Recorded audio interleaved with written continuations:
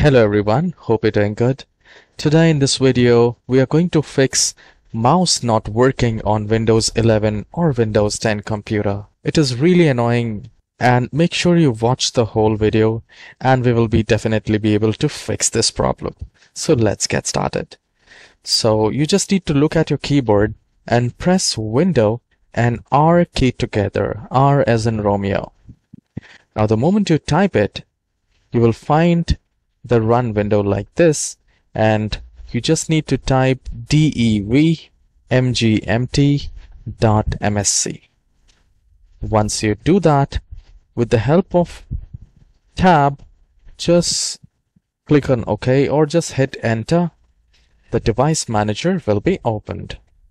Now once it is opened, you can press Alt space and then click on X.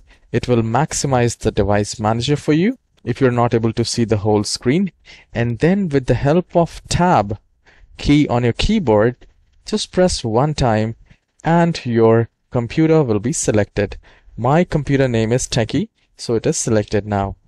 Now with the help of down arrow key on a keyboard, I'll be able to move it down and we just need to go to this mice and other pointing device.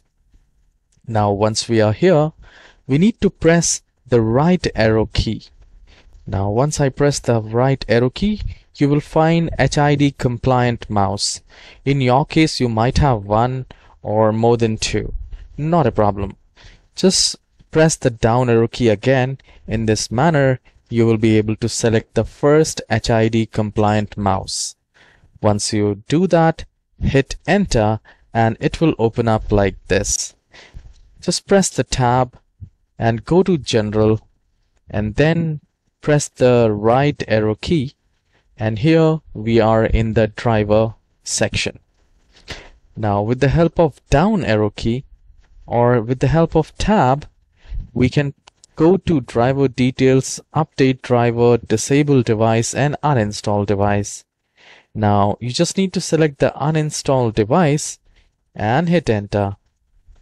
And once it is done, just click on enter again and it will be uninstalled.